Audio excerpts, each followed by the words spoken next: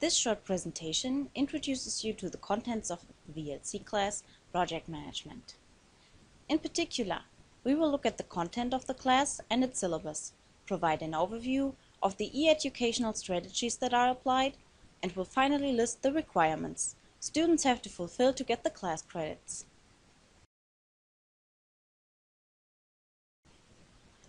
Project management has become a very important task in many jobs linguists can apply for.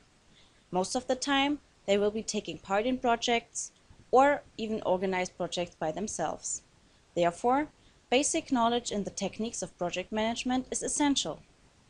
This class introduces the basic concepts of project management.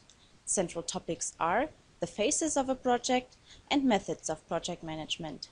Then, the realization of projects will be discussed typical problems, as well as the peculiarities of web projects will be issued.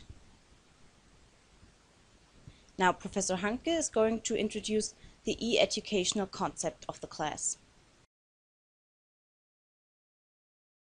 In traditional teaching, content delivery and content acquisition are realized in class, where several dozens of students have to gather at the same time to be entertained by their teacher.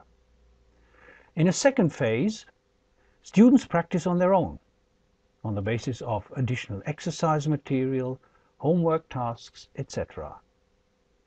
We will flip or invert these two activities.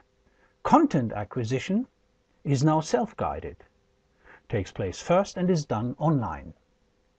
The additional in-class meeting is now dedicated to practicing, to rehearsing, to discussions, to analysis, etc.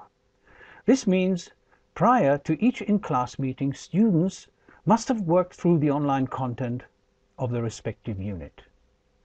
This approach is referred to as the inverted classroom model or the flipped mastery education model. In phase one, you are now the autonomous learner. In phase two, we will meet in class where classical or frontal teaching is now out. Now the central teaching method is that of a cooperative interaction between instructor and students. The content you are given is multimodal and involves all sorts of channels. Finally, you want to know what you have to do in order to get the four class credits, which are awarded for about 120 hours of workload. First of all, you have to submit a functional specification, which will be graded as a group. Then you have to present your project plans, which will be an individual grade. And you also have to submit four e-worksheets and participate in the class, of course. And this will also be an individual grade. Now, see you on the VLC and in class.